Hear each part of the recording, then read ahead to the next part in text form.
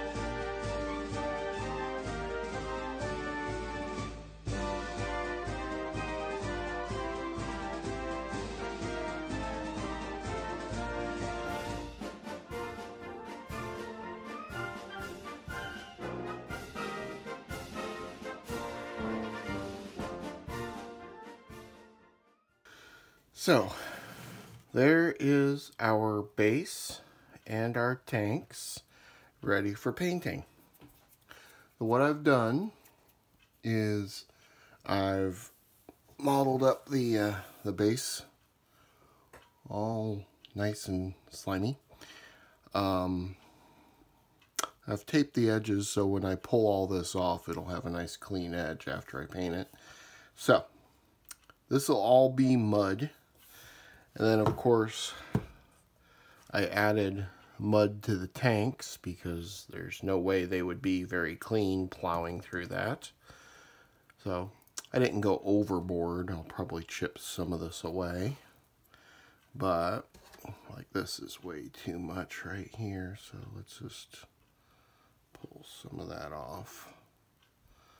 It wouldn't get wedged up in the wheels like that.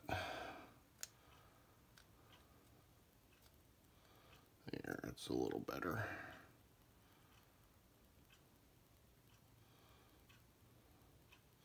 It might get wedged actually in the spokes, but not in the track. This thing's moving, so.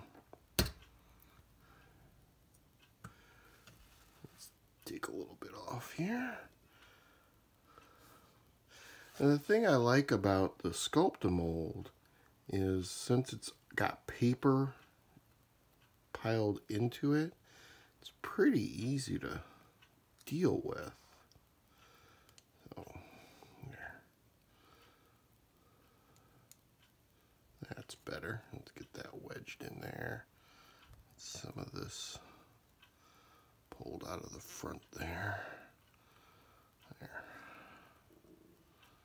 There we go. That's better. So that's the plan for today. Once this dries, I need to give it a good 24 hours to dry.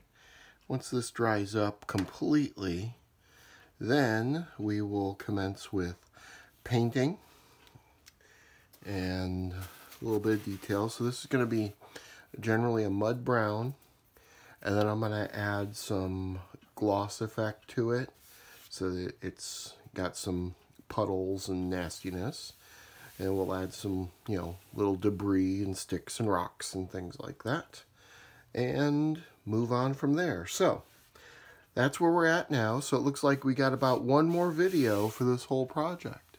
So, I hope you enjoyed watching again. Um, please like and subscribe, and uh, until next time, I hope you have a really, really good day. Stay safe out there, and uh, keep on modeling, okay? I'll talk to you later. Bye-bye.